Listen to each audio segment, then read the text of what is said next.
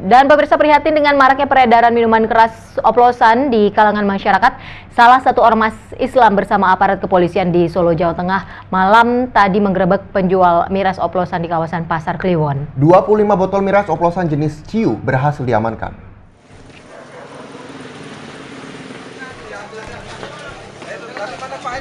Laskar Hizbullah Sunan Bonang yang bekerja sama dengan aparat kepolisian menggerebek sebuah rumah warga di kawasan Wirengan Pasar Kliwon yang diketahui menjual minuman keras oplosan jenis Ciu. Sebanyak 25 botol miras langsung diamankan beserta penjualnya ke Mapolsek Pasar Kliwon.